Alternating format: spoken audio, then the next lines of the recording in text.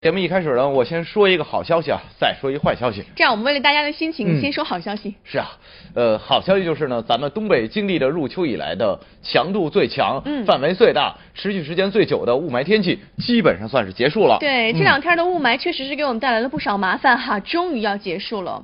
但是我也知道你马上要说的坏消息是什么，就是雾霾走了，冷空气来了。